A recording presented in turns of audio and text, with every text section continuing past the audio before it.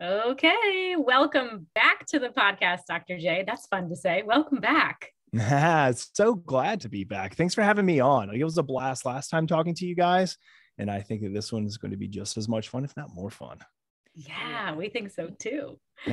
so, when we had you on last fall, we discussed all the popular HRV myths and we really took a deep dive on into what HRV actually is, which I think most people are still very confused about. So you mentioned before we started recording, you're going to continue to beat your drums, which we appreciate. Indeed.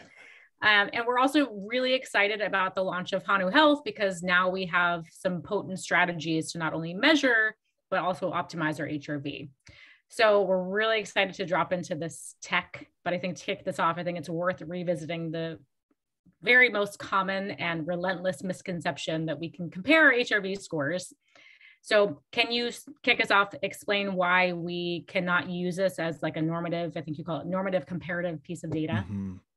Yeah, yeah. Always a great topic of discussion because you know, I've done, you know, the Hanu Health podcast we've had going now for close to four months or so, and people write in questions all the time for our Q and then I get emails all the time, both from my prior clinic that I ran, my consulting clinic, and then also with within Hanu. People are always they. It's like uh, I can I predict the emails I'm going to get every single week. It's like, what do I do about my open quote, low HRV, end quote, like all the time. So it's like this notion that people still have of like having a low HRV. And it's not to say that you can't have a low HRV. We all can have a low HRV. But what does that mean? Is it low compared to, you know, my brother or my neighbor next door? Is it low compared to myself like what does low mean? So it's all back to this whole concept or this notion that hrv should not be compared to anyone else other than yourself. So if somebody is going to write me or say i have a low hrv or if they come to you lauren or you renee and say like can you help me with my low hrv well we need to take a step back and ask well what does that mean when we say low? And for most individuals they're just going to say well you know i think that because my oura ring is reading you know 20 milliseconds milliseconds every single morning, like that's low. Well, maybe if it could be low, if your average, let's say, is 30 and you've been consistently getting, you know, tw- you know, 10 milliseconds below, then that could be low for you. But that doesn't mean um, that you should be taking that number that you have in front of you and then saying, I'm saying it's low because I've seen other people, you know, have scores that are 50, 100. 150 because that that level of comparisons there. And the reason i think this happens so often honestly is because on so many other biometrics, on so many other measurements, period, like we do have the ability to kind of compare to others. So, you know, we think of things, horrible example here because it's a horrible metric, but BMI is one of them. So there's like a normative value set of BMI. There's a normative value set of blood pressure. There's a normative value set of a lot of uh, like cholesterol. These are all things that can fall into normative sets and so when people kind of use their you know brain's heuristic of comparison well it's like oh well if we compare on all of these other metrics then we probably compare on hrv as well and it's not the case. And the reason just to kind of back up even further is because there are so many things that can confound or confounding variables is what we call them in research. These are kind of like things that impact um, out of our conscious awareness and ability to control hrv and these are things like genetics basic demographics height weight gender. Uh, cardiorespiratory fitness is a huge one. And that's actually one way to really boost and improve overall baseline HRV. But I think that that is what leads to the confusion. So when we say low, low is always relative and low is always relative to self. And so we can talk about kind of like how to find that uh, because I think that for many people, they're like, okay, when, once they get that concept and they're like, okay, I'm not comparing to others. Great. So, how do I compare to self? Uh, until recently there hasn't been a lot of great ways to do it unless you're you know you're a data scientist nerd like myself or a researcher who knows how to put it within a framework. But um, with what we've created at hanu my shameless first plug of i'm sure many is going to put you within a frame a normative reference frame. So you know when you fall outside of your normal range and when you're inside your normal range and then when you're above it. So uh, in in an effort not to go into too long of a diatribe and and talk. Um, that's that's kind of my initial answer is that like it, we just have to really take a step back and look at the framework of two different things. Number one, in the HRV space, normal is better, not high is better necessarily, um, and and low is relative and relative to the self. Okay, so in range for you. I guess I just want to clarify like I'm thinking about lab biomarkers that you brought up where we have the normative values. Like when we look at lipids, whether it's a standard or a functional range, we know, you know, everyone should fall kind of between this number and that number. HRV is different because it's affected more on a short short-term basis, like it fluctuates more quickly. Is that why it's really different? Yeah, it's a great question. It fluctuates much more quickly, and that's because it's an extremely sensitive measurement. Uh, it's sensitive to so many different things, both internally and externally. So when I say sensitive, um, you know, in an effort to change heart rate variability, um, it doesn't take much, and it's very similar to heart rate. So a question that I get all the time is, is like, can we use heart rate as a basis of normative comparison? And the answer is yes and no. So it's like a kind of answer. So it, we can use different age normative ranges, gender normative ranges for heart rate, but heart rate is not nearly as sensitive of a metric as HRV. HRV changes very quickly and it can change into response to so many things. It could be breathing, it could be environmental temperature. So right now in my office here, um, they decided, I guess, within my complex not to like have the air conditioning running today. And so it's a little bit warm. So that increase in body temperature temperature is naturally going to uh, decrease HRV. So what's interesting about that is like, should I then interpret that as like, uh oh, my HRV's dropped. So like, am I stressed? Is my body stressed? Well, kind of, but then also kind of not. Like, how significantly is that impacting me? Not that much. Like, it's not affecting mental acuity that much. I mean, it's might be a little bit uh, uncomfortable, but for the most part, it's not significantly impacting it. Whereas, like, I could be in the middle of a meeting um, and the temperature is great, but it's the stress of like dealing with the meeting or talking or all these other things that are going on within my environment that are driving HRV. Another one I just mentioned was talking. The simple fact of just talking changes HRV. Is me talking mean I'm stressed and that my nervous system is being significantly impacted by that stress? Not necessarily. So you can see that there's so many things that impact heart rate variability that then to compare it to the impact of other things to other people, it just doesn't make a lot of sense. So that's why we say that heart rate variability tends to just live on its own in terms of self comparison. There's other metrics that are uh, self comparison based, but this is certainly one that I would say is is absolutely within the framework of like it has to be relative to self simply because it's sensitive and it is confounded by basically everything. Yeah.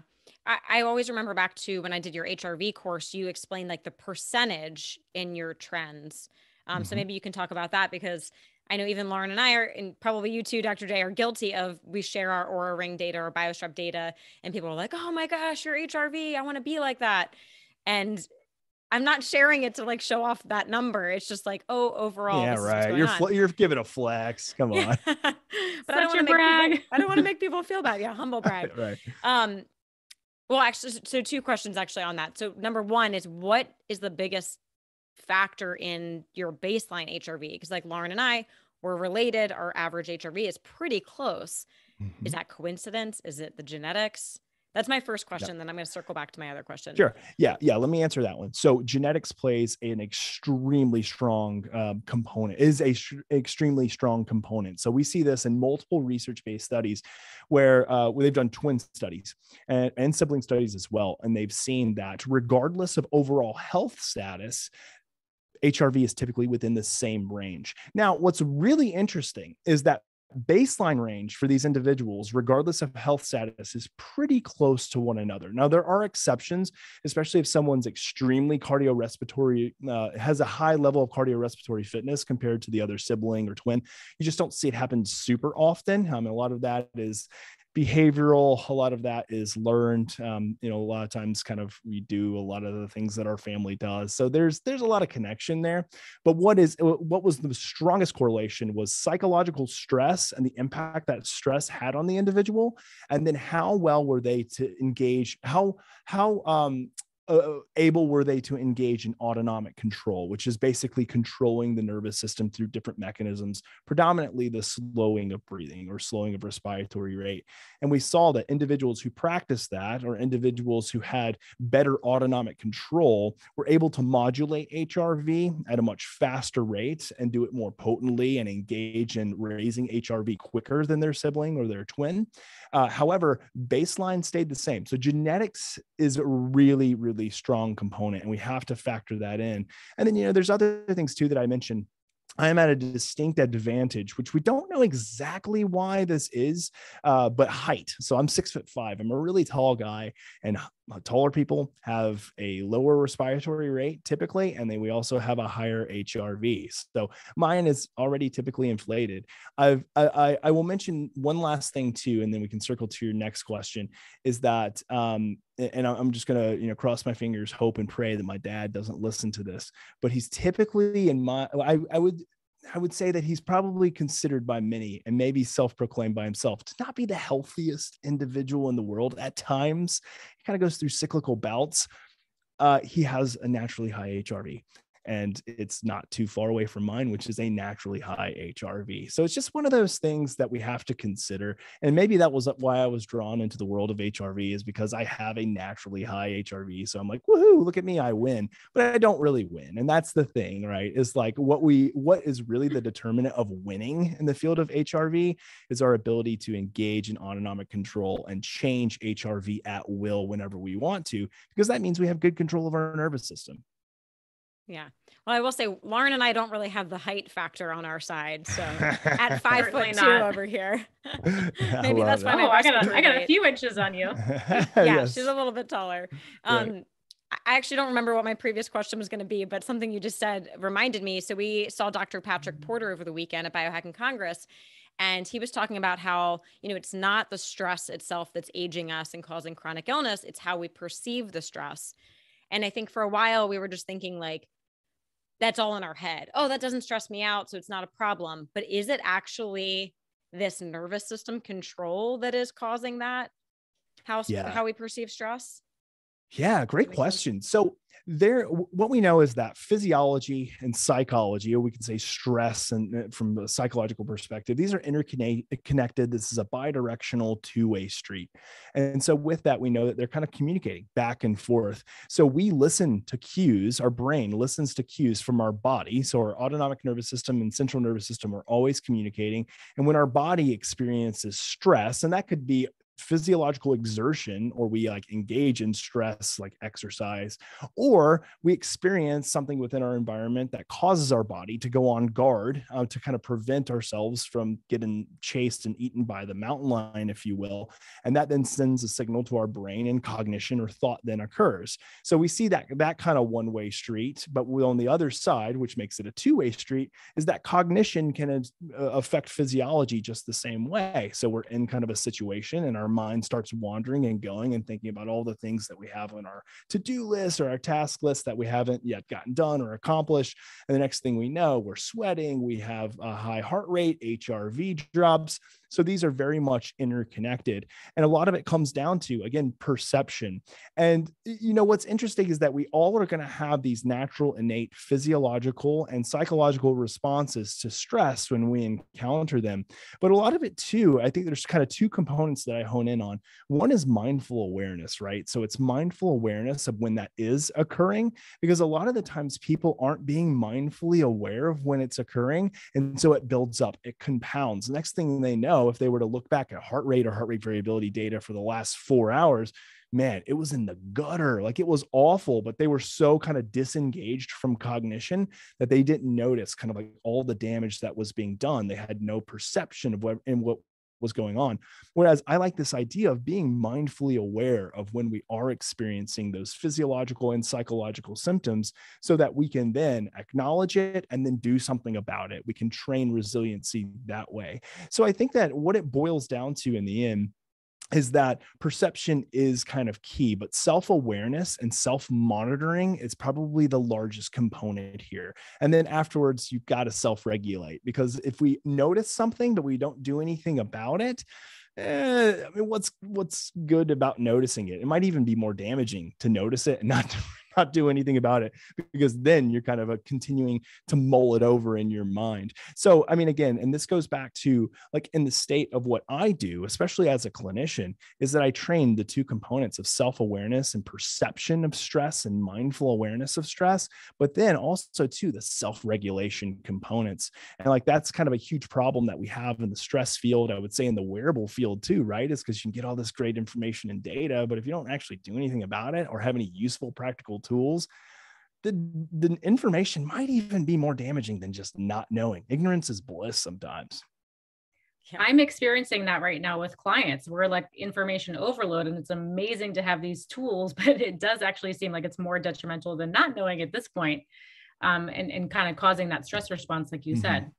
What you said before almost sounds like a false sense of resilience like we're really um, you know we're wired for survival. So we can survive and sort of ignore stress just to get through the day but it's not necessarily thriving. So what is like from a biometric standpoint what's real resilience versus this state of you know not awareness not being in awareness mm-hmm. ignoring the stress? Yeah. Yeah. I you know i think what we're really good at uh, from a like what we're really good at as humans is talking ourselves out of things and trying to convince ourselves otherwise right? So yeah. i'm really good at saying i'm good. I'm not stressed. I'm not sore. Let me go get this workout in that i probably shouldn't be doing. Like i'm really good at talking myself out of things. And we know that individuals who have a little bit more high level of neuroticism type a uh, I'm speaking really to myself right now because I just can be so yeah. neurotic with things. Yeah.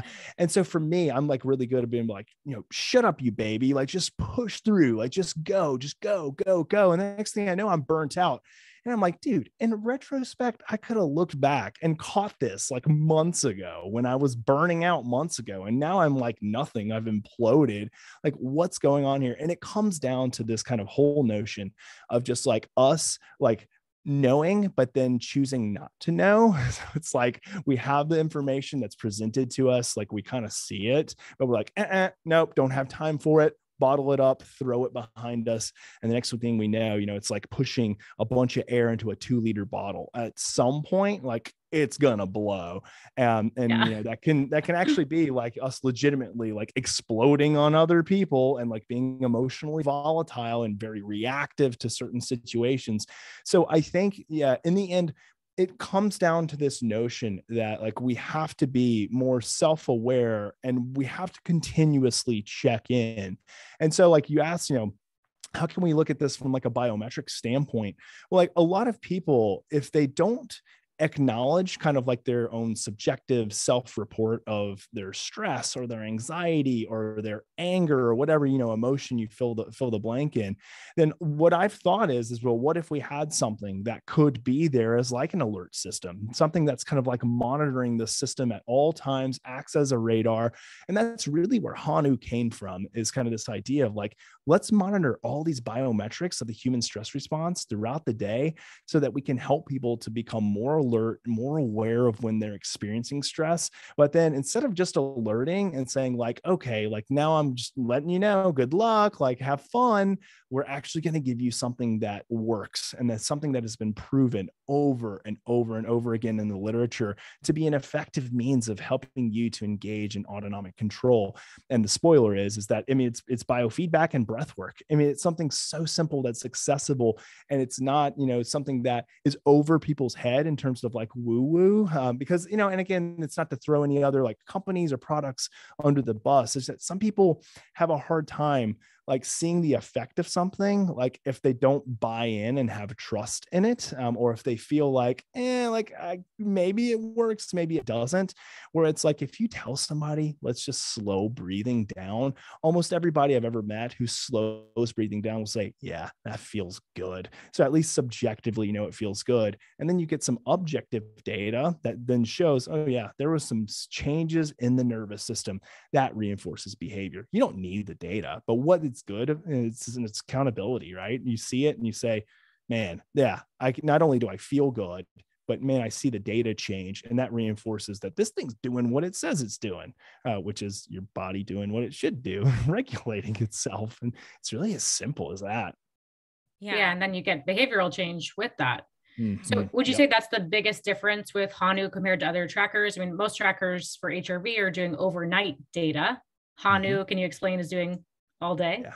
Yeah. Throughout yeah. the day. So you got it. So, uh, the great thing about wearable technologies that we have accessible to many individuals, especially a lot of your listeners, and we are talking about things like it's funny, I've got them on like six devices right now, uh, like Oura Ring, Whoop, yeah, BioStrap, um, Hanu, which is on my arm. I had a Polar chest strap on. I've got a Garmin on here for you know fitness.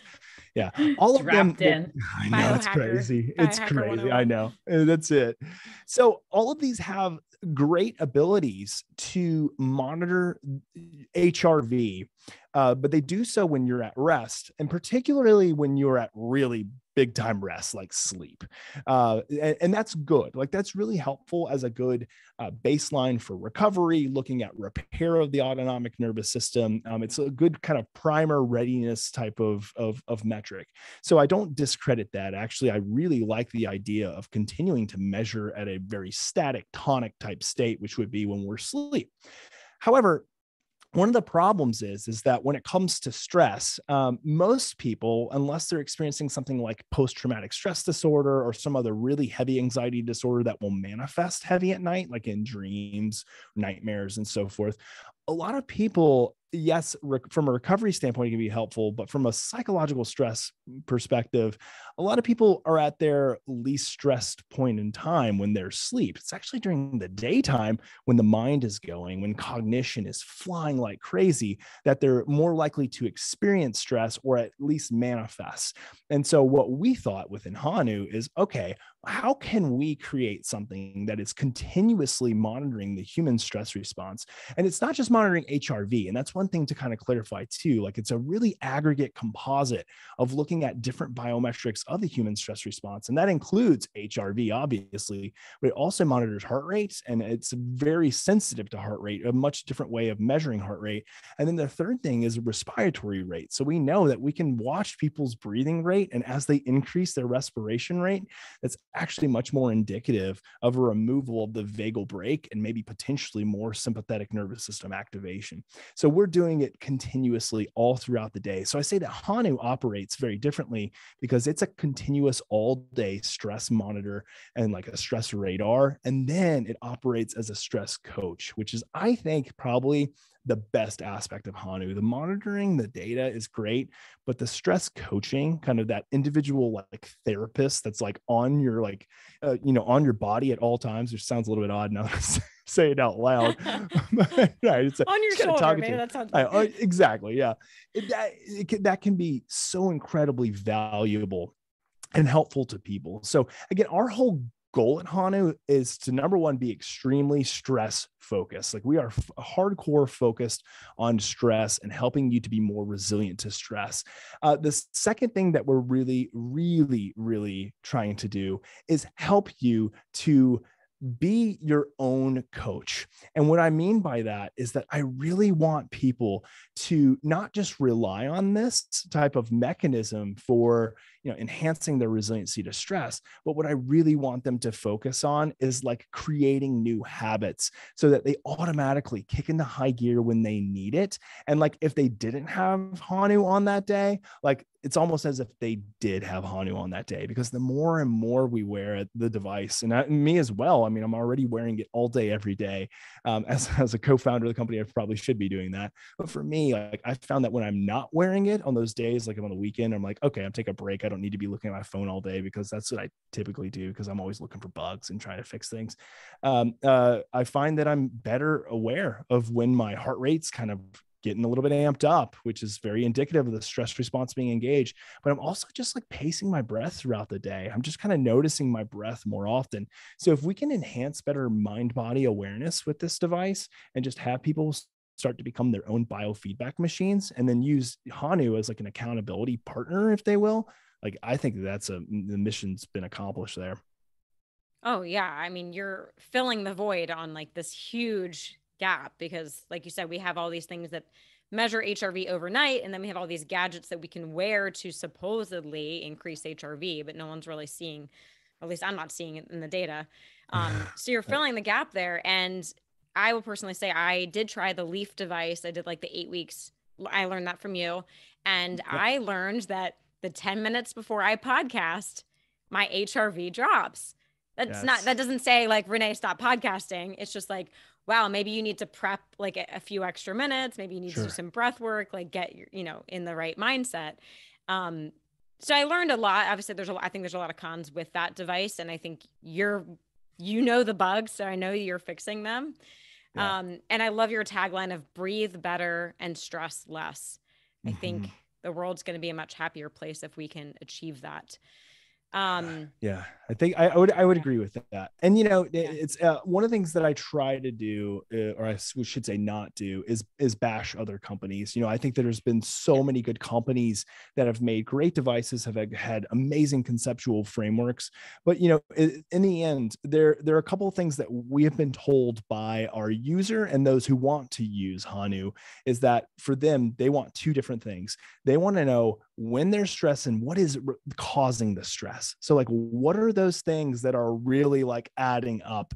Because a lot of times, like, we can kind of notice it in the moment, but then we have a really poor short term memory, right? It's like we just forget about it and then move on. But what you can do with Hanu, which is very different than any other app out there, is when we find or we alert you that your stress response is being a little bit more activated than as is as normal, you can actually log what we call life events. So you can actually track what the potential event is. Maybe it's email apnea. That's a huge one, right? So a lot of people will write be writing an email and hold their breath. And, and it's actually these subconscious, like out of awareness breath holds that can actually tank our nervous system. And they're not great. Now, conscious breath holds can actually work really well to our favor, but subconscious actually is not great. I mean, it's really the body acting as a protective mechanism and the stress response starts to go crazy high. So you can log things like that. A lot of people commutes, like commutes are the worst, right? Like, especially when you live in a really populous city and like, you know, you leave work at, you know, 5, 5 30, and the next thing you know, like it should take you 10 minutes to get home and it's taking you 45 minutes to an hour. People's nervous system goes crazy. You got people honking, shooting the bird, whatever it may be. So you have the ability to log that. So I think that that's a really important thing is to be able to look back over time, over the past day, past week, past month, or even year and say, what are those things that are really like my triggers? Like, what are the things that really cause some significant stress in my life? And I think just visually seeing it helps us to better prepare for it so that when we're in that commute, we're like, yeah, this is what normally gets me. I'm, i probably should Here do some comes. breath work. yep. I probably yeah. should do some breath work right now. Like, I think that's a huge differentiator between what we do and others. Yeah. So, what are some of the things that people should be mindful of if they do see their HRV drop? Like, we know exercise in the short term is going to drop it, mm-hmm. eating. Like, what are the normal things to not freak out about if we see a drop? Yeah, great question. And this comes back to how sensitive HRV is and how it can be confounded by like so many things. So, a big one, yes, talking. So, as soon as you start talking, um, there's a lot of different reasons why this happens, but we know that breathing is the major regulator of heart rate. Um, so, heart rate is interconnected with breathing when we're talking, we tend not to breathe um, as succinctly and as clearly as we might. And actually, when we're talking, we tend to breathe from our mouth more. So every time that I go to you know, take a breath, it's a lot easier for me to take a mouth breath right now than it is a nasal breath. And now that you know, everybody's honed in on that, they're probably listening. They're like, huh, yeah, you're right. I hear him taking those mouth breaths.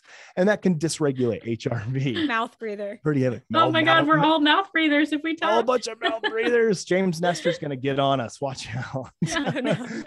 yeah.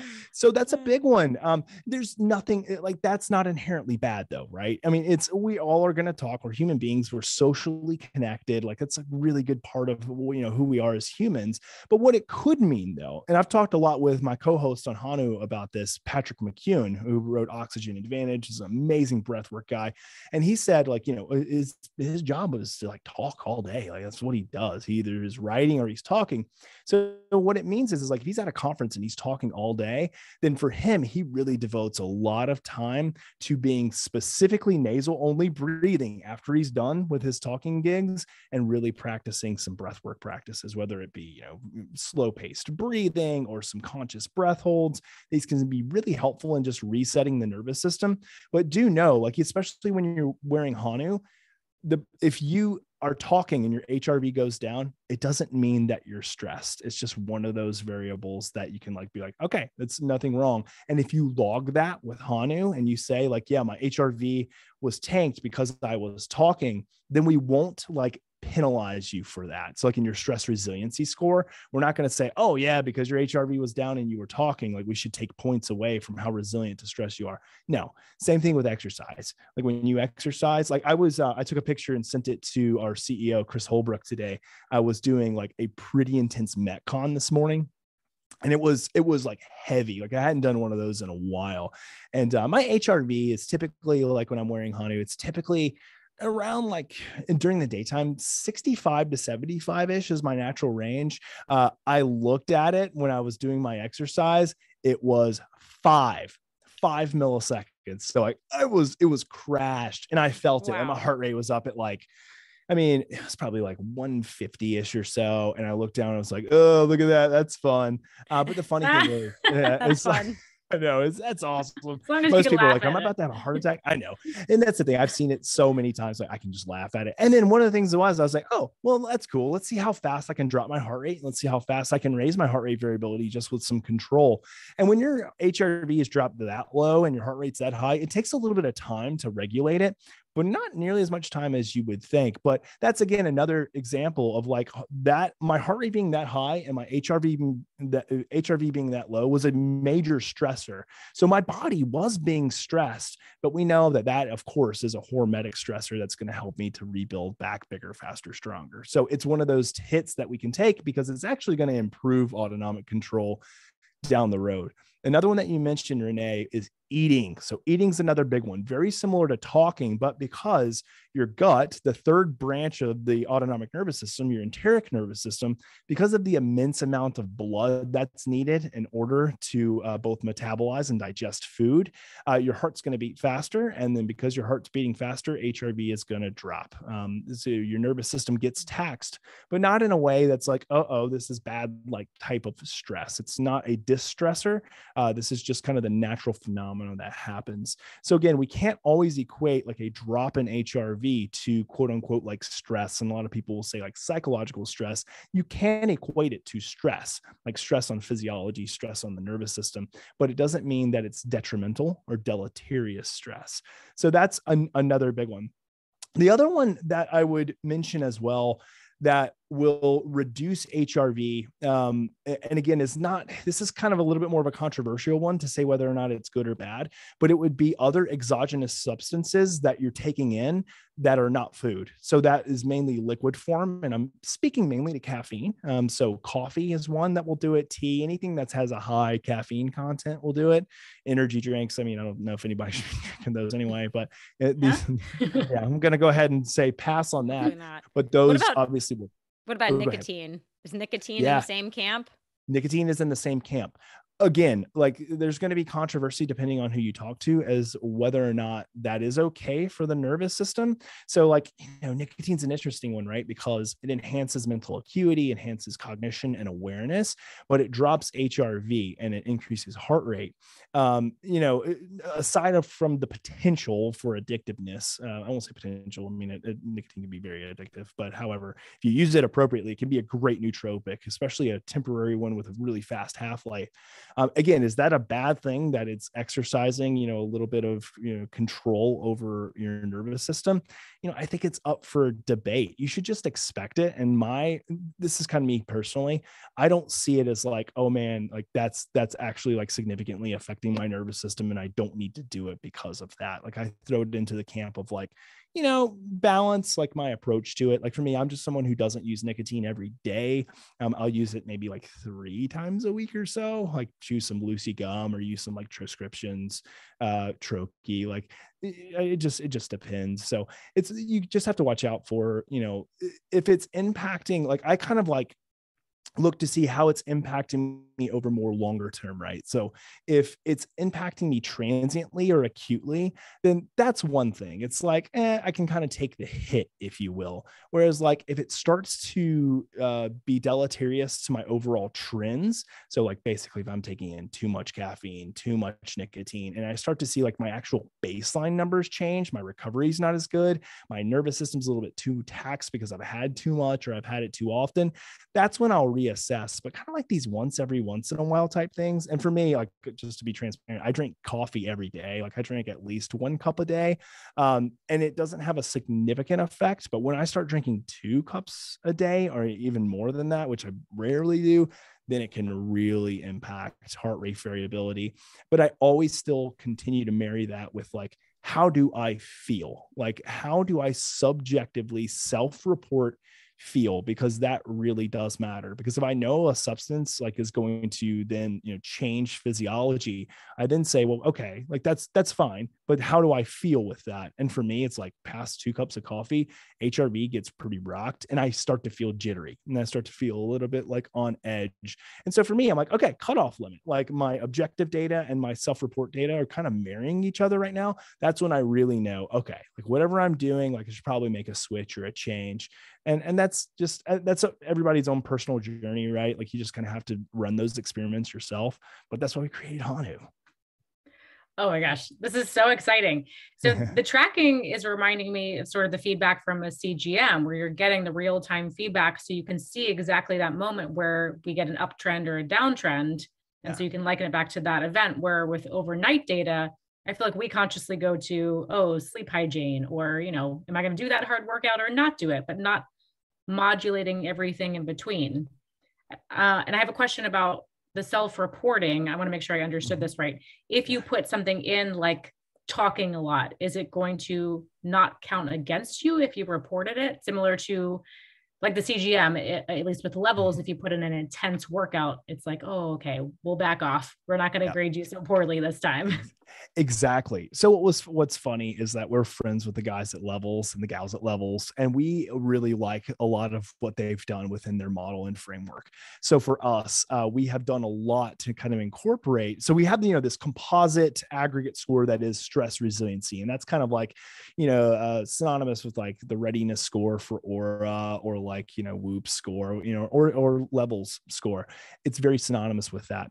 The the key difference to ours is is that yes like if you include some self-reported information like you were exercising or you just ate or you just got done talking what we're going to do is two things. Number one we're going to actually ask you like what you were doing. So we call that a life event. But then also too, you can self-report like during that time, like were you talking, but were you talking in a meeting where like you had like some, you know, individuals that you were, I don't know, trying to impress, or maybe it was just kind of like a more contentious meeting because that's a talking plus like you were actually stressed. So rate it there. And then we kind of give you this sliding scale zero to 10. And then kind of from your both your biometric data and then from your self rating, we include that into our algorithm to change or to modulate that score. The coolest thing I think about this stress resiliency score is that it modulates all day long. So, you know, when you wake up in the morning and you get your Oura readiness score, or you get your Whoop score, it's there. It's for your day. Like that's your score. Level's a little bit different, but for like the other, those other wearables, like it's there for your day. Hey, sorry, you got a 60 today you know, a really crappy night. Deal with uh, it. Yeah, good. Deal with it. Day. Good luck. Good luck. Whereas try again tomorrow. yeah, yeah, exactly. So, uh, which is kind of fun in one sense because you can gamify, but in another sense, it's just like, really, like, is this really like how ready I am all day? So, what? Anyway, I could go into such a soapbox, but that's why you know we did the modulating stress resiliency score. So it goes up and down depending on self uh, report, multiple biometrics, and then also the quantity and efficacy of the training that you do. So biofeedback or breath work or meditation. The more you do that, and the more that you engage in those practices and report that it's working for you, and also uh, have data or biometric change, it increases your score or decreases accordingly. Not training. Training always is going to increase that score, but throughout your day, um, you know, it can modulate back and forth depending on your self-report and depending on your biometrics that we're we're capturing. Mm-hmm. Um, so follow-up question, real quick. The self-reporting with the algorithms that you guys have created is that determining eustress versus distress? You guys yeah. are kind of determining, okay, that's a good stress. Yes. More yeah. points here Yeah, absolutely. So what we're actually trying to capture, yeah, is is eustress versus distress, and the we can't differentiate those with biometrics alone. Now there are potential ways of doing it. Um, it's just a little bit riskier, and we don't want to make any assumptions just yet. What we're going to be doing, and what we'll have integrated, and this is kind of something that most tech wearables are going to follow as well, or they're already doing, is use things like AI and machine based learning and other kind of mechanisms within the biometric, sorry, within the hardware and the wearable to detect and kind of better predict those things. So, the really cool wave of this and what we really want to see in the future, and again, this is going to sound really futuristic, and I'll be honest with you, we're not there yet, but this is where we will be, is that we want to be able to predict just based on, it could be context, time of day day and changes, subtle changes in your biometrics predict when the body's kind of revving up and getting into into more of an enhanced stress response well before you even know it and well before it would like detect it now. And the reason being is because we know that oh, for many individuals, especially people who tend to be a little bit more stressed and emotionally reactive when they're stressed, these individuals uh, can fly off the cuff really, really fast. And I've seen this, you know, in the workplace and, and with I've consulted, I've seen it in family members, like it just happens. But we're saying, like, what if we can reduce the amount of times that happens by kind of just alerting people prior to things revving up a little bit more than what they normally do and say, oh man, is is this maybe a good time to kind of just take like a short break, just like to engage in some breath work? Um, and if we can reduce, you know, percentage wise, you know, 10, 20, you know, 30% plus of that emotional reactivity and that kind of like volatility, then I think we're going to do a huge service for people. And I sure would love it. So I'm kind of scratching my own itch oh, and yeah. it for me as well. Yeah, I Same. think the, fu- the future of AI combining with all of this is is amazing. And it's, it's insane. I'm, I'm, like more than halfway through Sergey Young's book, the uh, uh-huh. I think it's Science and Technology of Getting Younger, some title, something like that. And he talks yeah. a lot about this. And he says in the next 20 years, I mean, we're going to be like full Jetsons mode.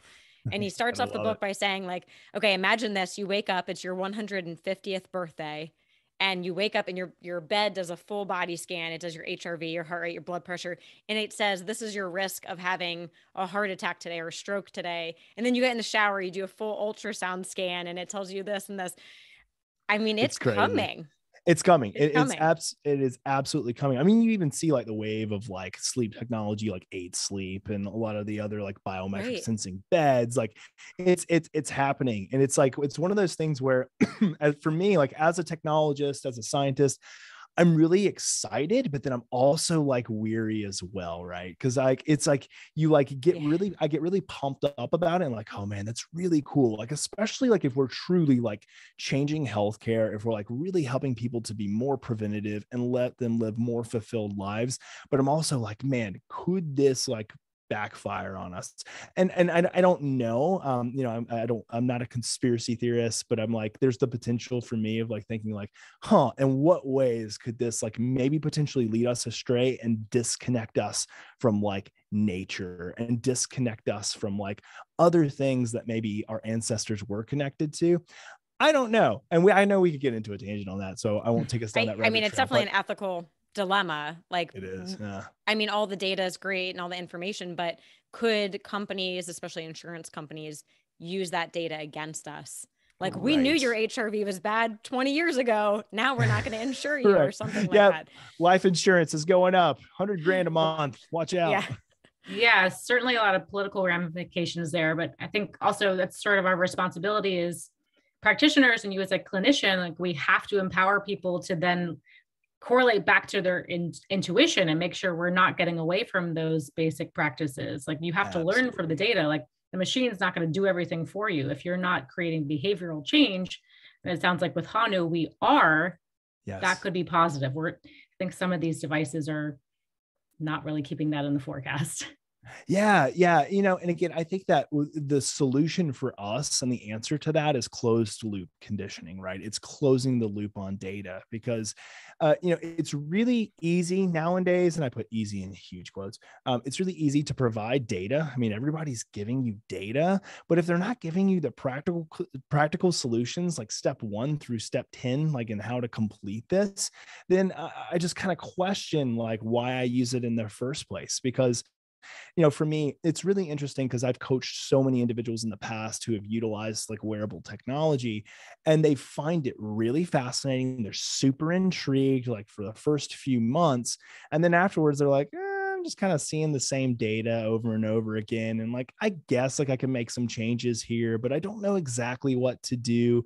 And I'm like, well, what if we created, especially in the stress realm, because it's such a huge problem. I mean, it's an immense market, immense problem that we see here. Like, what if we could actually create something that took them down like the steps of like actually helping to repair their nervous system and learn better control over it? Because like for us, like the end goal is so that people can live more fulfilled lives lives like they can be better moms better dads better brothers better sisters just like better coworkers better human beings in general.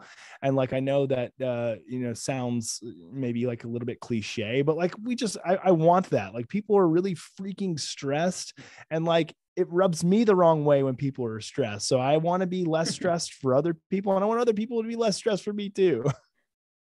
Yeah it comes full circle with all it does. Yeah, we influence each other so much, and stress is isolating, and then it just has compounding effects. So, oh, for sure, yeah, for sure. bring it down. indeed, um, indeed. Jay, curious about the HRV measurements. What um is it? RMS SSD? Like, what are you mm-hmm. using? Mm-hmm. Like, can people compare yeah. that number to other mm-hmm. devices?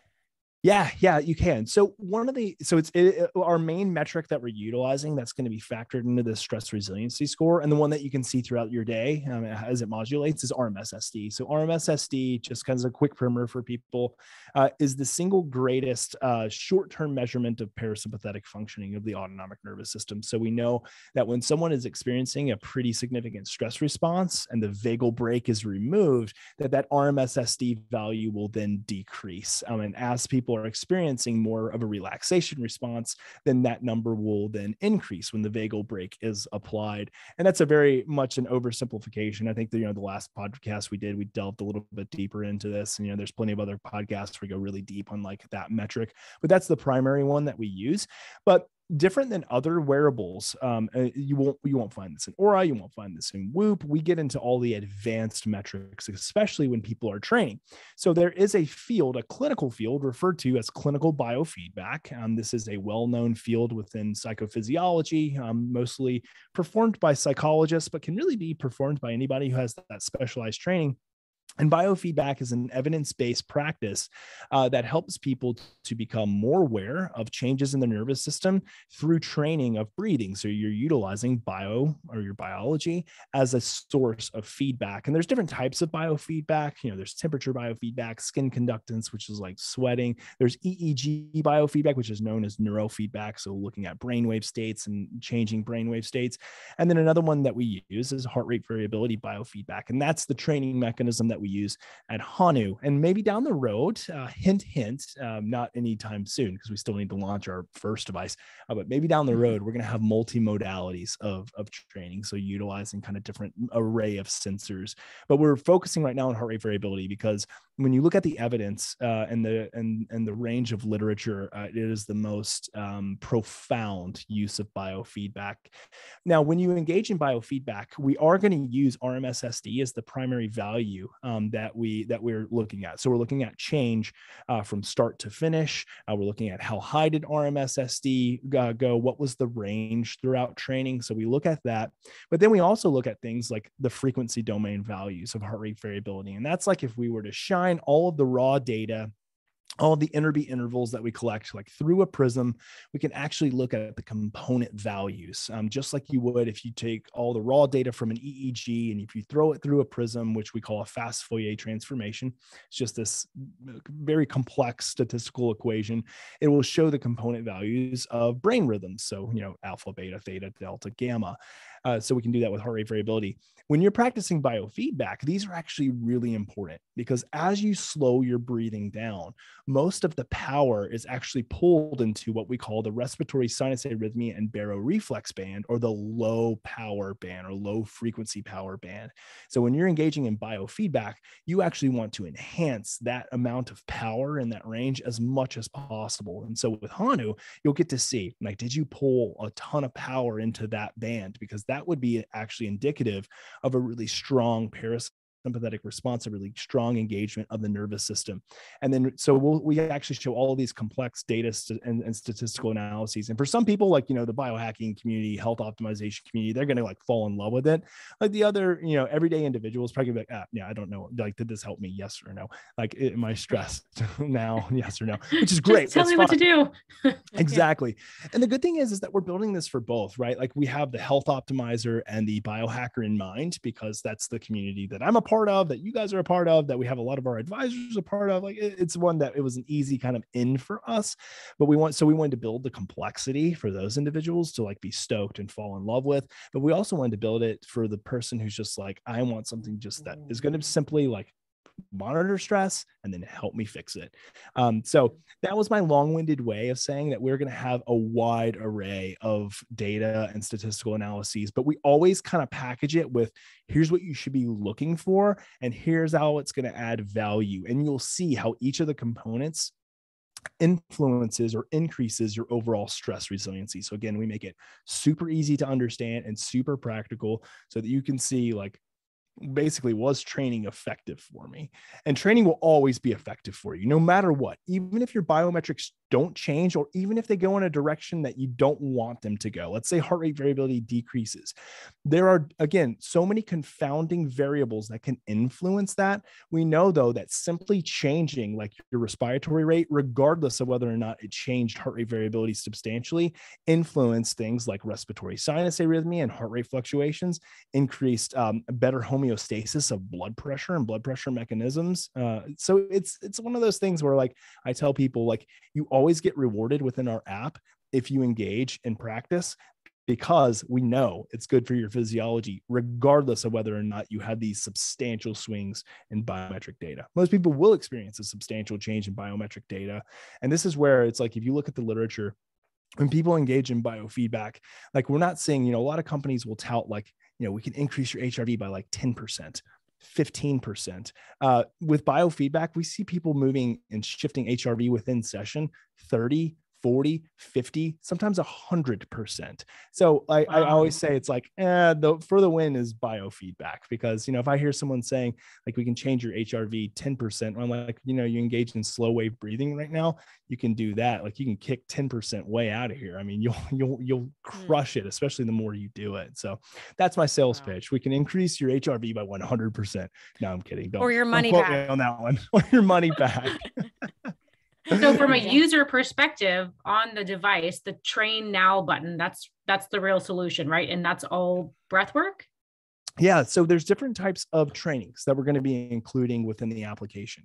So when we notice so there's kind of like user initiated and then there's app initiated training so app initiated trainings is when we actually find uh, uh, we're kind of operating as that stress radar. Say we we should say hanu the device the software when it identifies significant changes in your nervous system, then we'll initiate training. And the way we do it, which is dissimilar to Lief, because again, there's some annoyances with that uh, device because sometimes that joker would just go off and you couldn't shut it up. And then when you did shut it up, it would just start going off again. So we actually will alert you by saying, right, it did. I mean, it did. We'll alert you and say, okay, we've noticed something. Now, are you ready to like engage in some training? And if not, like we'll leave you alone. Like you go and do your own thing. Because if you're in the middle mm. of talking right now, I don't want you to, this thing to be vibrating and buzzing on you the whole time. Right. You're gonna be like, I'm doing a presentation. Right. Yeah, in the middle of a podcast. bzz, bzz, bzz. oh my goodness. It would happen to me all the time on podcasts. Yeah. I mean, it's crazy. Yeah. so no, what we do is that we vibrate. So we use haptics, we vibrate and we say, okay, we notice that something's going on. Are you ready to go? Like, do you want to do this? And they and you can say yes or no. So you can tap it, and then it can start a breath work practice. So the user, uh, sorry, the um, um, uh, software initiated or Hanu initiated type of training is going to be based on resonance breathing. So one of the cool things that you can do when you first get our application set up and you put the hardware on is that you can actually go through uh, the 100% validated true approach to finding your resonant frequency rate. So, resonant frequency rate is the optimal breathing rate for enhancing nervous system control, which is then subsequently kind of represented by an increase in heart rate variability. So, this was created by Dr. Paul Lehrer, who sits on our board, um, and he is kind of like oversaw everything that we're doing in regards to this evaluation assessment. Um, it's a little bit more on the lengthy side, um, and I say lengthy side because I know that people nowadays have short attention spans. It's 12 minutes. So lengthy, but also well worth your 12 minutes. I know it's weird to say like lengthy nowadays, but people like, I'm sure people are gonna be like, nah, 12 minutes. Like I can't, I don't have time for that. Yeah, you got, you know, oh, so good. I was about to cuss. Um, I'm not gonna do it. You've got you know two hours to go watch Netflix or whatever. You don't have 12 minutes. Right. To like, on Instagram. Yeah. Right. Exactly. So I um so you have the ability to do that. And then once we do find your resonant rate, we lock it into the application. And that's the breath that we pace you on when we initiate and we say, hey, we notice something's going on. However, when you press the train now button, which you were referring to, you have access to our library of trainings that we have developed and that we're developing right now. By the time we release out to the public um, you know, in, in the latter half of the summer, we'll have a ton of different trainings. But that's things like resonance breathing, it's box breathing, custom breathing, engaging in what, what Andrew Huberman calls the physiological sigh, which is a really cool form of breath work. So we have all these different forms of breath work trainings and biofeedback. And a lot of people are going to hear me say those two terms biofeedback and breath work breath work and bio uh, biofeedback is breath work with the technology. Biofeedback is breath work without it. Like that's that's really what it is. Like when i say biofeedback it just means that we're leveraging technology to monitor. That's that's all. So yeah it's a wide array. Uh, uh, the other thing that we're including a lot of too and this comes from our advisor patrick McKeown is a lot of oxygen advantage breath work trainings. Um, so he has if anybody has read the book oxygen advantage if you haven't everybody needs to read that book. It is phenomenal.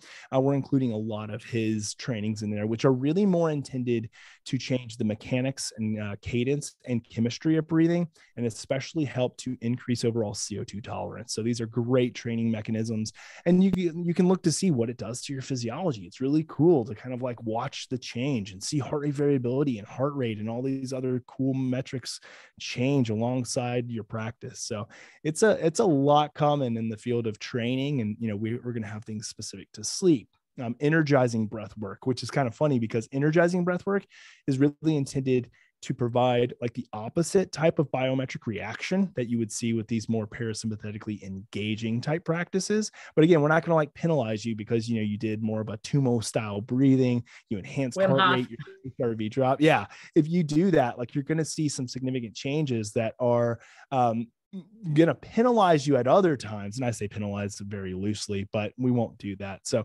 anytime HRV you engage, jail.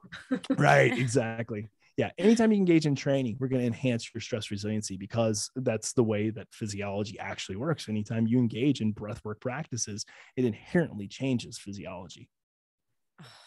I'm so excited. Summer can't come soon enough. I know, I know seriously. I know yeah and it's funny because i've been able to watch and you guys actually too have been more privy to some of the evolution of what we're building in and you know it's going to evolve over the years that we have this company uh, but you know it's fun to like now i'm fully like engaged in the app and playing with it and it's collecting all the data and i'm and i'm able to analyze it and add stuff and like do trainings you guys are you guys are going to love it it's going to be so it's so cool so excited. I'm ready. I'm ready. Ah. Um, I have a random question for you about daylight saving time. Um, so our mutual, our dun, mutual dun, friend dun. Mollie, Mollie McGlocklin, host of the Sleep is a Skill podcast, she sent me this like funny text message from a friend.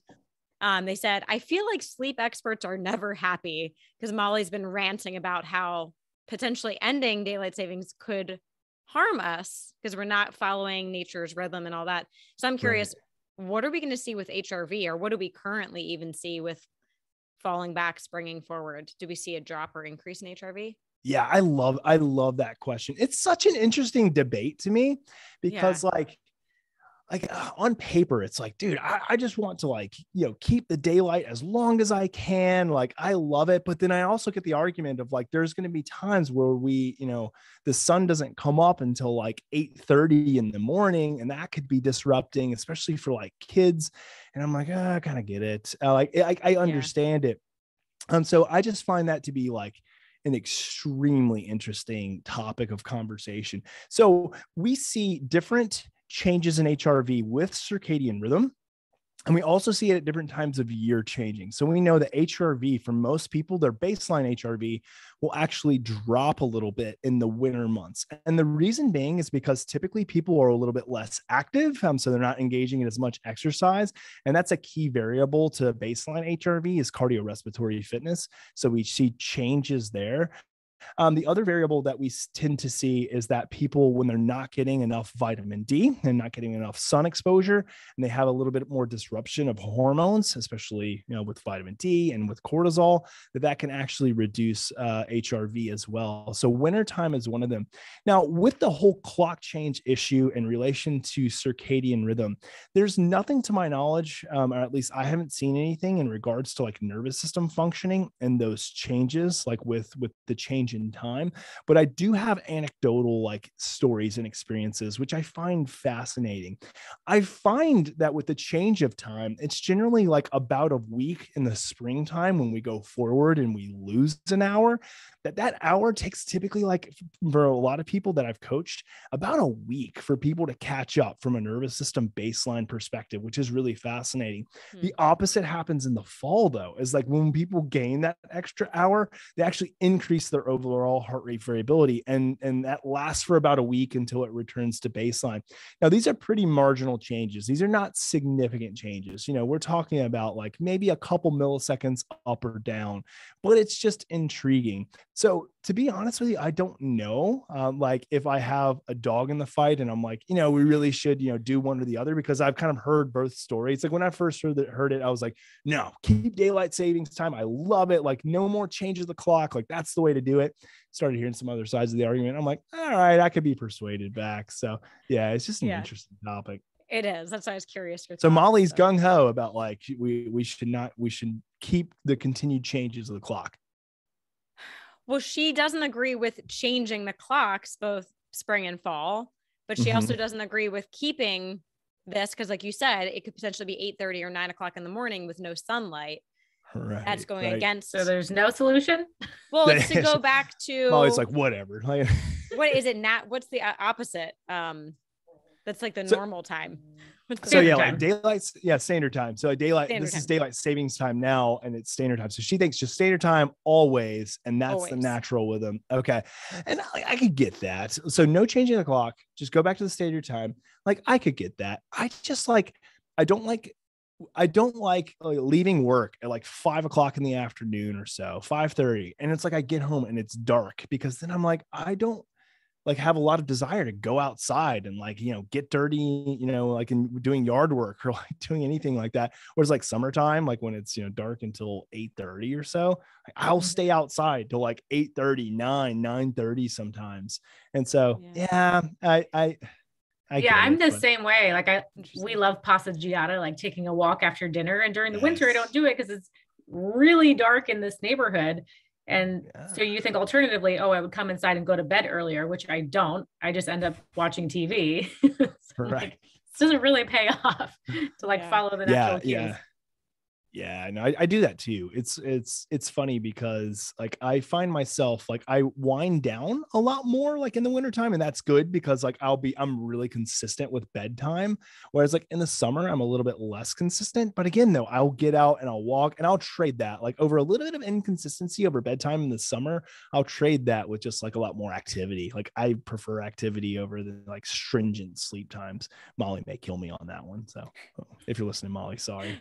Roundtable table discussion. We're gonna have to start. I love up. it. Oh, we joke with Mollie. We say sleep is not a skill. We give her a hard time. oh man, you better watch out when you're sleeping. She's gonna come after you. Oh watch gosh, out. she's so love smart her. though. She's a wealth yeah, of knowledge. We love her. Yeah. Indeed. Oh, Dr. Jay. the time has come, which is so ah, sad. I'm like such FOMO when we have to wrap things up with you. Prepare round three. three. Let's round oh, yeah, we're Let's ready. we are ready. We just need to make this it. on a consistent basis because it's insane the amount of knowledge that you have. And we are oh, so excited about Hanu. So we do want to share Thank that you. with our audience. We want to wrap up with a final piece of advice. You've been here before. So yes. but maybe things have changed. What, what can you offer today? No, it's it, I think that you know it's so funny because like things things do change, um, and I'm learning more and more every single day. Like I feel like I'm learning something new where I'm like, oh crap! Like I've been telling people something that maybe wasn't fully accurate and 100%. But I think like my biggest like the biggest takeaway and practical piece of advice that I have for people is like try to remove this notion of quote unquote low HRV, that I have low HRV. Um, and again, eh, you know, I'm going to beat the drum, like I mentioned, like uh, earlier, and you mentioned too, I'm going to beat the drum probably, you know, for the next 10 years or so on this, if not more than that. But like, I think that if when people get into the mindset of like, I have a low HRV, it actually causes them to have a lower HRV because they get mm. stressed about it. Like it becomes yeah. something that they worry about. Like I can't tell you how many times I've had clientele who like, I have optimized everything, sleep, nutrition, exercise, my stress, but I still have a insert low HRV and oh, like they're like anxious about it yeah and i'm like okay let's take a step back because like all this comes down to is a little bit of like misconception and myth and that's okay like as long as we have the appropriate education now you know that there's no such thing as a low HRV unless you're comparing to yourself and it can be low. Like, let's not get that, you know, uh, misconstrued either. Like, you can have a low HRV compared to yourself. Uh, then, like, if you get that down, then, like, I think that eases people's anxiety about this and they stop worrying about it. And I tell people that if you come to the conclusion that I do not have a low HRV, then if you want the practical skill, it's all about autonomic control. It's all about teaching your nervous system how to obey your beckon command. Like if you can do that, like that you've really succeeded from a health optimization, from a longevity standpoint, like you're gonna reap the benefit. Awesome. So great. Always good to hear that. Um, so Dr. Jay, can you share with everyone what is the deal with pre-ordering since it's coming out summertime? Yeah, yeah. Thank you for the opportunity to let me mention our pre-order. So pre-order right now. So we wanted to make this as accessible as we possibly could to people. So the device itself is going to be $299 if you buy it at the time of launch. However, our pre-order special is that we're going to sell it for 40% off. So right now, if you go onto our website, hanuhealth.com, you can buy the device for 180 bucks. So that's 40% off, like 180 bucks like in the field of health tech as you guys know is like a crazy steal but like that's not all. Sound like you know one of those infomercials.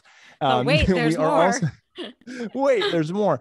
We're also giving away and we were only going to do this for the first 1000 customers but however we're going to like uh, extend this out especially to those who are ordering now I'm going to give away a $150 gift box for free just for pre ordering. So that's going to include a lot of things from our advisors. So maybe you'll see some Kion products in there. Maybe you'll see some Oxygen Advantage stuff. Like I, I, won't give it all away, but it's some really cool stuff. It's worth 150 bucks that we're just going to give away. And the other thing that we're raffling too, which is really cool, is a one-on-one coaching session with Ben Greenfield. So we will raffle that to one lucky winner out of the pre-order mix, and you'll get an hour long with Ben Greenfield, chill with him ask questions, or if you just want to, you know, shoot the shit for 60 minutes with them, go for it. It's your hour. So that's what we're doing. Mm. The thing that I love about what we're doing, if I do say so myself, is that we're only um, we're only asking people to put $29 down to save their spot. And that $29 to reserve their spot is fully refundable. So if the time comes, we're about to ship the product and we let you know and we say, hey, it's about to ship your way. We're about to take, you know, the rest of the money, the 151 bucks to equal $180. Like as long as that's cool with you, like we're going for it. But if not, like, you know, you can get a refund at any time. So we want to de-stress that situation for everybody. So just put a little bit of money down, reserve your spot. And then when the time comes, 40% off. That's it. Great. Awesome. Amazing. Thanks for sharing that. So we'll put the link for the pre-order in the show notes for today's episode. And then also, um, if you want to follow Dr. Jay Wiles on Instagram, also Hanu Health on Instagram, great stuff there and the Hanu Health podcast. You said I think it's been like four months. Awesome episodes. Definitely check him out there.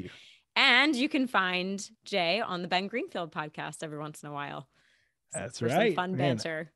That's right. All the all the all the fun banter talking about my uh my two favorite public enemy number ones who can't keep their mouth from being blue with all that all the toxins and uh you know fishbowl cleaners. Uh, you guys, such Yeah. You're gonna catch the big C. people. Watch Uh-oh. out. Watch out.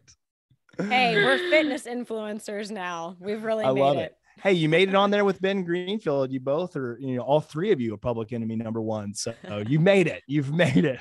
We did Yes. with our nutrition degrees. Oh, Oh right. yes. My Did you put that un- quotes. unprecedented nutrition degree. Oh my gosh, you gotta Whatever love it. that means. Yeah. Clickbait, man, people. Clickbait. Jeez. Well, thank you for all fun. your support, Gotta Dr. laugh. J. You're Right. awesome. Now, I yes, love- thank you I so love it. much. Yeah, thanks guys for having me on. It's been a blast. Yeah, thank you. And thanks to everyone that tuned in today. We'll see you next time.